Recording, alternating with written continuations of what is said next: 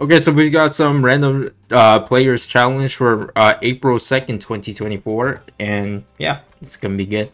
Uh, we're going to grab 024 Dart Monkey up here.